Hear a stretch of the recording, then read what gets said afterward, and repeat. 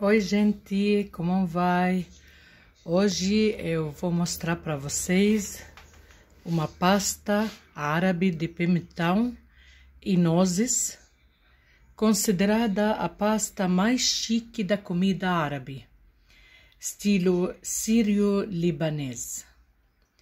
Nome dela Mohammara. Mohammara significa vermelhada. Ela é feita com pimentão. A pimentão tem que ser desse jeito, bem vermelho e saboroso. Se maduro, ainda, ainda melhor. Então, esse Mohammara ela é uma mistura de muito pimentas síria e libanesa e cheia de nozes.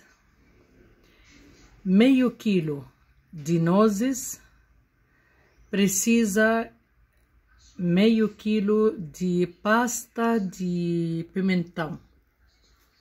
Se coloca mais nozes, melhor. Essa pasta só acha no Al-Mawal, Al-Muhammara,